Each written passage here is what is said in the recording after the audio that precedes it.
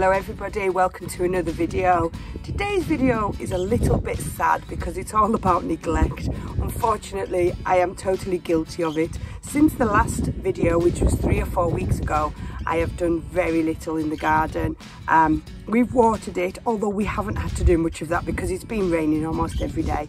And we've just been so busy with work, we've had holidays, all the kids have had their birthdays in the last few weeks so we've just been so busy the garden has been neglected and it shows. If the last few weeks has taught me anything it's taught me that you you just can't neglect your garden because it doesn't take long for everything just to go horribly wrong. So we'll have a little look around the garden. We'll see what's gone wrong. We'll see what we can rescue. We'll see what we can do to you know, restock where we've lost things. Yeah, just see if we can get this garden into a good shape again. So we'll start with the sugar snap peas. These were doing great. We took a harvest of them and they tasted beautiful.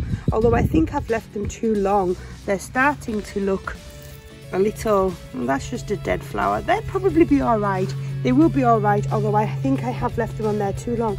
But most of the vines, they look like they're dying, they're dead. It's as if they haven't been watered. That's what they look like to me, but they have. We have had torrential rain here for a month, pretty much.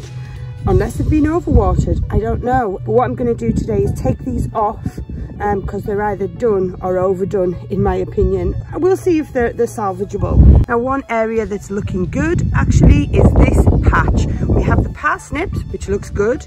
We have the potatoes, which again, still look good and healthy. I cleaned out this section, which in the last video was full of weeds and allegedly beetroot. I never seen any sign of any beetroot emerging, so I weeded it and I planted a little row of swede in here. And they have started to come up. I'll have to thin those out obviously, but at least we've got something growing in there. It needs weeded again because they've been in a couple of weeks. But this bed is looking great. As you can see, I still haven't cat-proofed it. So we have had problems with cats, but I've been looking out for it each morning when I'm going to work, cleaning any mess up. I have been using black pepper on there, which has helped, but it only works for a few days. Then the rain washes it away and they're back again. I still need to build something more permanent to protect this bed. Our onions and leeks are looking good as well. There's a lot of weeds in here that I need to sort out. And most of these onions they're falling over. They look like they're ready to pull out, to be honest. The leeks are growing here. Fantastic. I'm just going to weed this bed, I think. Pull up some of the onions and see, see how we're doing with them. But this bed is one of the few areas that hasn't been too badly affected by my neglect. As you'll know, if you've watched any of our last few videos, you'll know that I have been having serious trouble with this broccoli. I don't know how to grow it. I don't know how, or if at all, that it needs pruned or how to look after it. I had a serious problem with butterfly laying their eggs and caterpillar.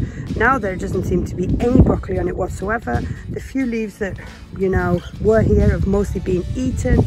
It seems to have bolted. There's absolutely no heads on it whatsoever. They've all been completely destroyed. So I think, oh, look at the little bee there.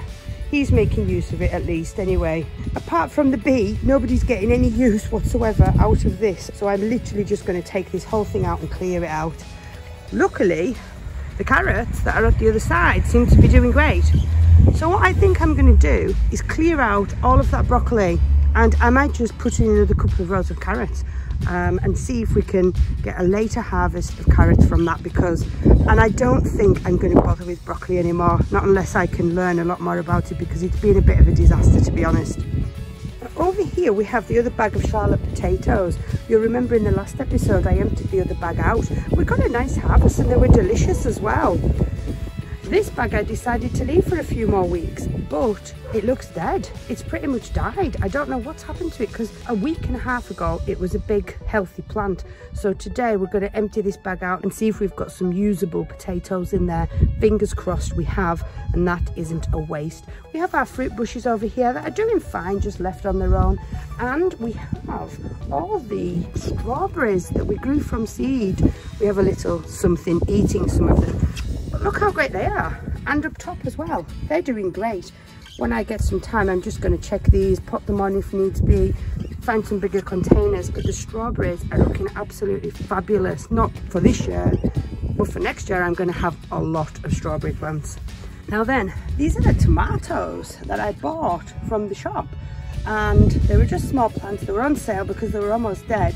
I bought them and look, I haven't got a greenhouse for them. I was wondering if anything would grow at all, but we have got tomatoes on there and it's just been sitting here out in the elements and we haven't had great weather or great sunshine here. So the fact that it's grown anything is fantastic.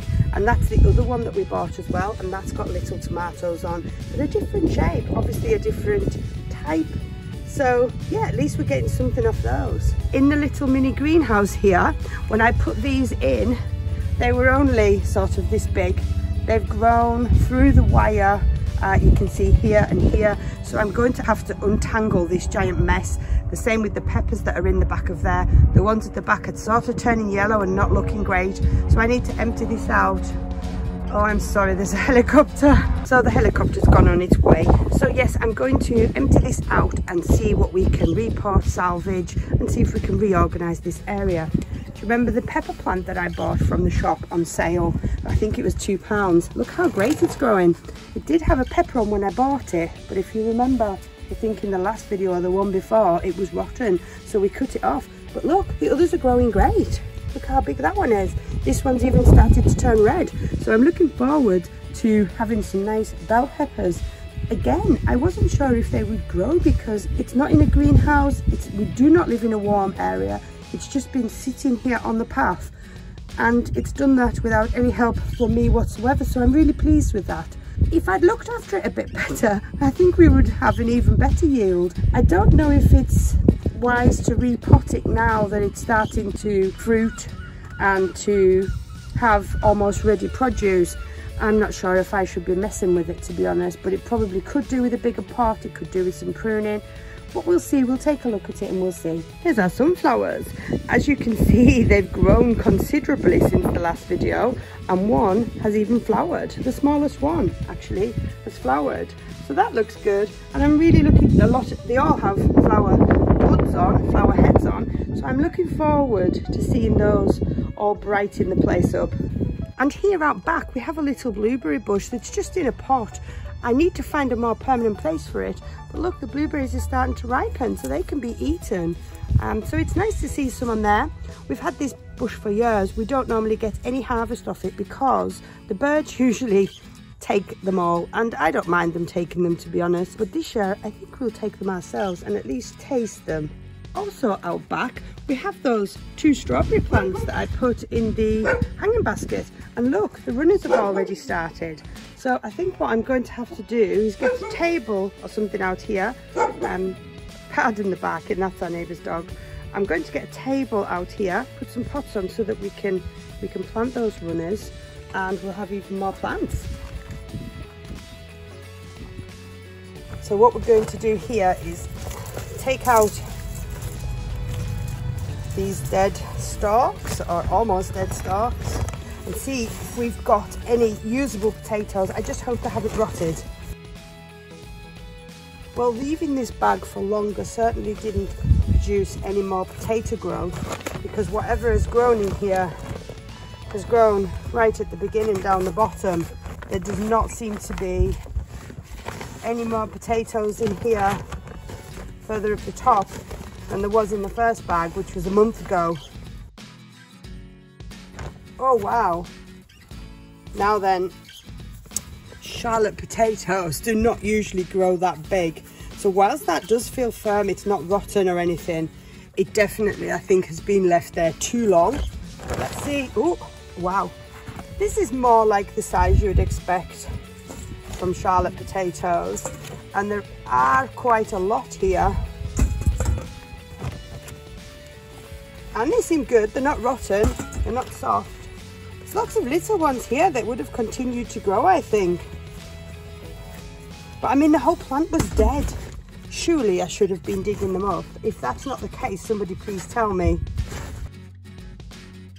Now these have quite a few blemishes on them. I don't know that's because they've got too wet. I'll be able to tell better when I've cleaned them up.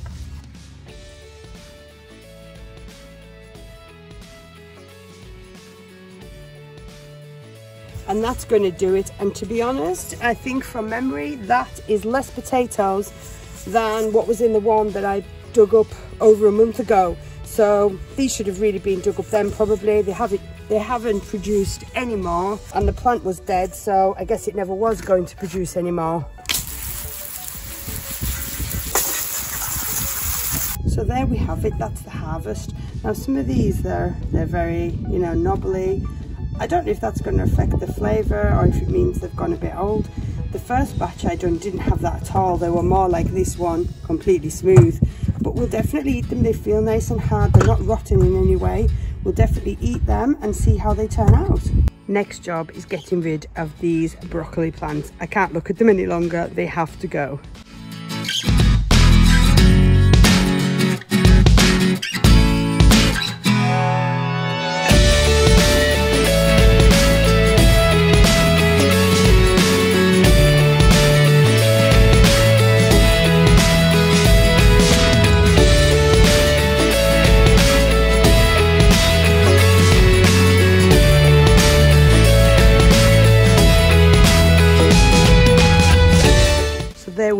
Broccoli is no more. It didn't take very long five ten minutes to pull all that out cut all the overgrown grass. I'm going to put some compost on top of there and see if we can't plant something else in there to grow this year.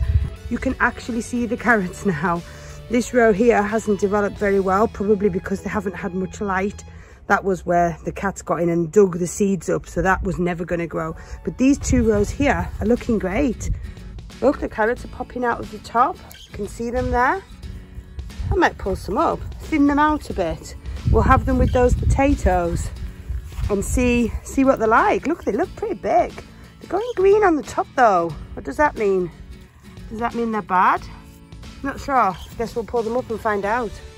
So next job, let's sort out these sugar snap peas and regular peas. Let's see if we can't salvage at least some of these plants. Maybe they'll grow more, I don't know, probably not now.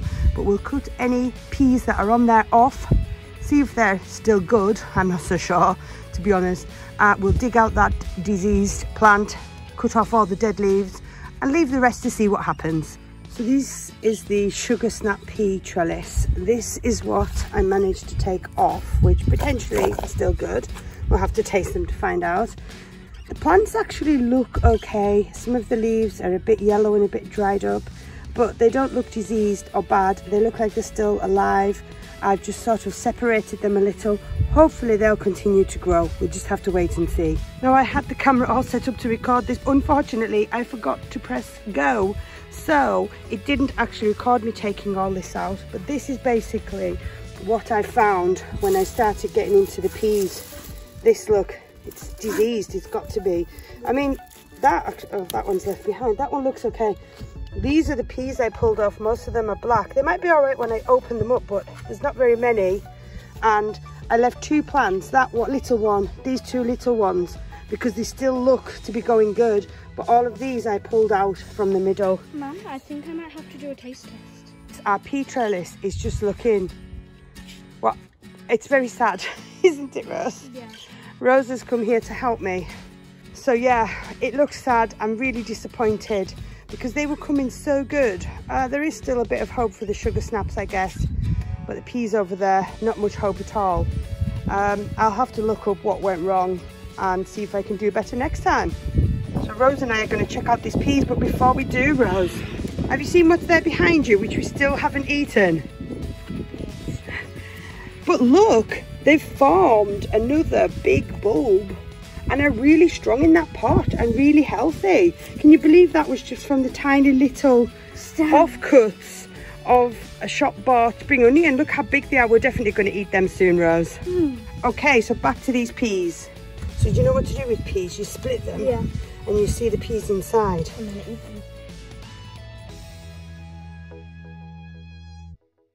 So now at least we know that we were eating the good ones. Yeah, I think. Now the thing is, I don't know whether these taste bad because they're bad, because they're black, they're diseased, or have they just gone like that because we've left them too long and they're too old? Never grown peas before, so I really don't know. The young little ones that were still green tasted really sweet and beautiful. I don't know. We we, we need to we need to look more into this to we find get out. Bridget's opinion, shouldn't we? Well, Bridget's not here right now. That definitely tasted better. bad though. I don't know if this one's bad or good. Should I taste? I think really we should just leave them. They don't, they don't taste great. We should do it. Well, give it a try. It's only a little one. That one's good. Okay. So the little ones that are green taste good.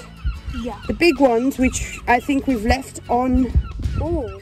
on the vine too long. Yeah, don't, definitely don't eat that one. I'm. Okay, so pea harvest, um, a bit of a disaster. These little tiny ones are really nice and juicy. This one only had one pea. Yeah, There's only one way to find out if it's good. generally speaking though, That one, it's not like as sweet as the others, but it just tastes like a regular thing. So Yeah. good. and Rose and I both really like peas, so that's a real shame that that those haven't turned out great. But you live, you learn. We'll see. We'll learn for next year. Now we have these sugar snap peas.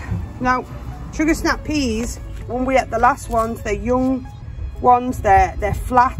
The little um, peas inside are very small, and you just cook the whole thing and eat the whole thing. But I like them. But we've left them to go weird. We've left them to go too big, but they're not black like the other ones are. So, see, sugar snap peas should be flat and they should have hardly any, like, like that. That's what sugar snap peas should be like, flat with Should we hardly. try that one? I mean, you can try it if you want. I don't know what it'll taste like uh, raw. I've never eaten them raw. You're supposed to just eat the whole thing. Now, Oh. you had the last ones that I cooked and you said they were yummy. That's not cooked. Right, they're not as good as the last ones, but they're quite nice. But is that because I haven't cooked them or because... I think it's because you haven't cooked them. Okay, so let's cook these and see if they turn out good then. I'm gonna try. And with the peas, let's throw them all away because they're gross.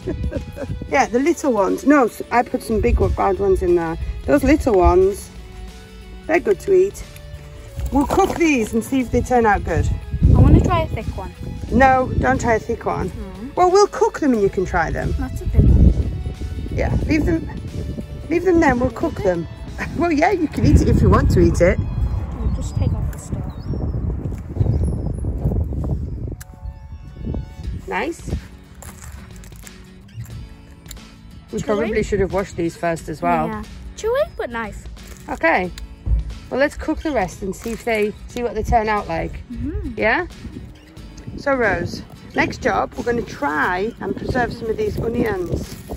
So we'll try. We'll start with these ones here because they look big enough. They might grow bigger, but they look okay. What do you think? Yeah. They've already fallen over. Some of the ends have sort of come off. Now, what we want to do is try and preserve these. So we need to dry them out. So we need to pull them out like that. Mm-hmm. And then we need to hang them or lay them somewhere that's cool and dry so that they can completely dry out for a few weeks. You're going to pull one? Mm-hmm. This one's quite pull it up. weak, so I'm trying not to break the stem. Ah, You got it? yep. Cool. Let's just lay them on the side. We'll pull each one up.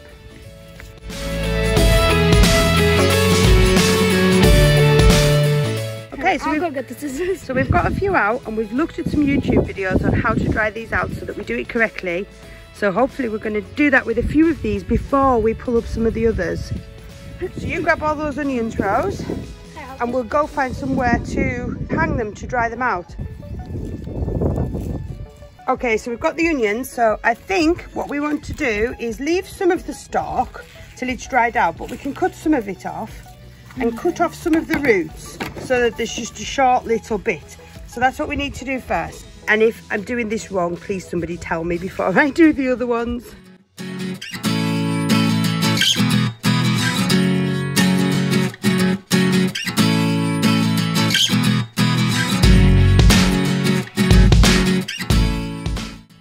Hopefully we've done this correctly. These are our onions. We've got, ah, we've lost one. Get that little red one.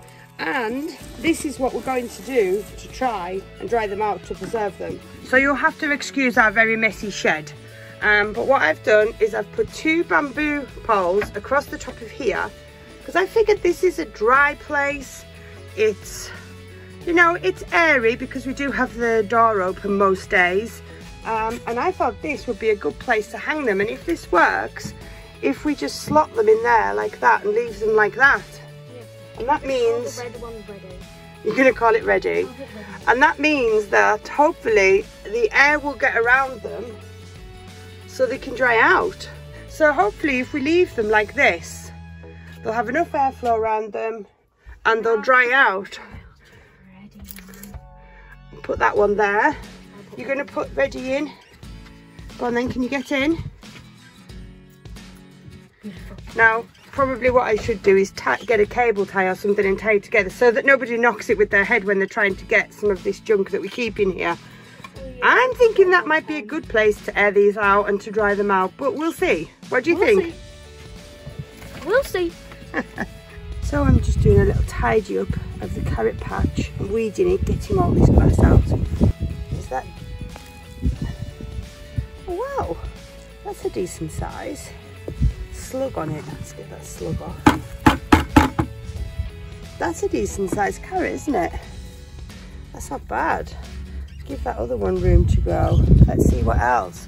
Got three all in a row here. Let's pull the middle one out. Oh no. Oh no, I've pulled the top right off and not the carrot. Let's see why that won't come. Oh wow, that is stuck right in. Oh, not particularly big, so I don't know why that was stuck. What else we've got. Two really close together here. I probably should have thinned these out earlier than this. I don't think this is going to be anything. Oh well, yeah, still, still enough to eat. Let's have a look. There's a lot of this grass in here. What else have we got? Two right next to each other here. I haven't done a very good job at thinning these out in the first place, have I? Oh, pulled an absolute baby out, which I didn't mean to. And I've pulled the top off.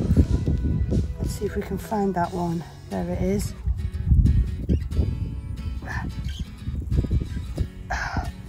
There we go, not a bad size. I really haven't done a great job at growing these to be honest. I haven't done a good job at thinning them out or spacing them out or just looking after them in general. So here we are, this is just to, to thin them out really, but we'll definitely eat those. Let's give them a wash. So we've just tidied this area up, put the fruit bushes back. These really need tending to. This area is clear. I'm probably going to put some more swede or carrot in there, but not now. I'm going to have to put the net back around to keep the cats off that. Those onions I'm going to leave for a little while longer to make sure that my drying out process is okay. The parsnips and potatoes are fine. They're gonna, I'm gonna start digging these potatoes up soon, I think. I think they're ready and we'll see what we've got. Not really sure. That could be the end of the piece, to be honest. We have three fruit bushes in the corner here that are doing great. I'm just going to leave those for now. The strawberries probably need splitting up and potting on, but again, I'm running out of time. Here we have some peppers. Look how great these peppers are. I really like them. Peppers and tomatoes. The last thing I'm going to do for today's video and for this evening is empty out this greenhouse and try and untangle these um, tomato plants and the peppers and just see if we can get that in some sort of order so that the plants are healthy.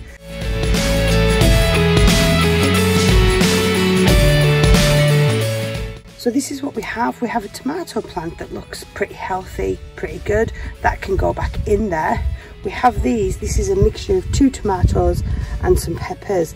They've been stuck at the back. They haven't got enough light. They're in pots that are too small. We're going to pot those on. Then we have these two tomato plants. I really struggled a little because they had intertwined through the actual shelf but I've managed to get them out they need to be um, potted on I think they need to be you know have a stronger star um, cane in there to hold them up.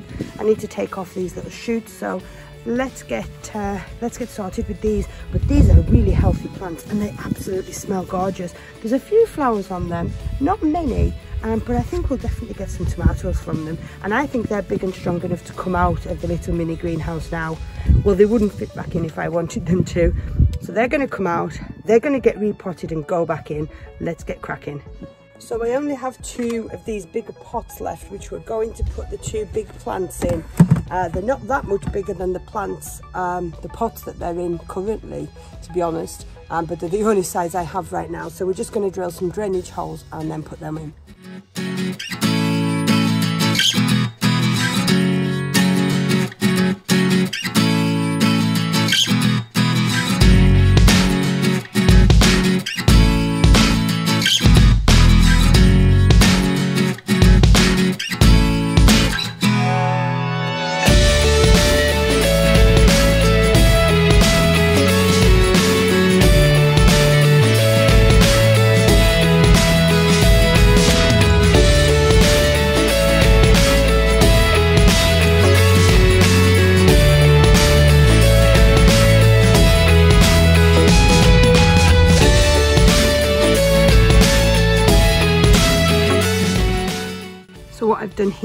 Potted on the two biggest plants, the ones that were at the bottom of the greenhouse that were tangled in the shelf. I've put them in the two big pots. I only had another two of this size pot. So I picked my two best looking pepper plants, basically the two that were flowering, that one, uh, sorry, no, one pepper and one tomato here. And then oh yes I did have three and another pepper here. I picked the two that looked like they had the best chance of survival. I did manage to pot on everything else into slightly bigger pots but they're not ideal. They need bigger pots than this but I've totally run out of pots. So I've put them in the biggest pots that I have available which isn't great. Hopefully they'll survive. I'm not sure about these tomato plants. They're way too small this time of the year. They probably won't survive but I keep them anyway because I love the smell Now these ones here, the big ones, look at the size of some of these. These were like the, the suckers, the offshoots. Look at the size of them. This is what happens when you neglect your plants. So what I'm going to do, the big ones clearly will not fit back in the greenhouse. I'm going to put all of these smaller ones back in there. The big ones are now going to join these other ones, which are doing okay on the outside. And we're probably going to call that a night.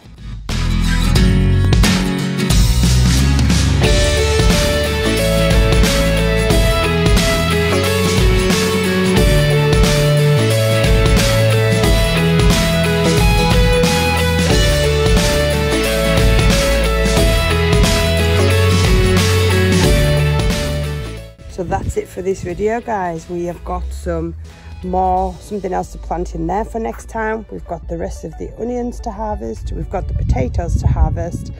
And check out these. Doesn't that look great now with all those outside? I'm not sure how much harvest we're going to get off those because we are in the middle of august and we live in a pretty cold place so who knows? But hopefully we'll get something. We've got our beds proofed again but alas I have still not cat proofed the potato bed. I've just run out of time.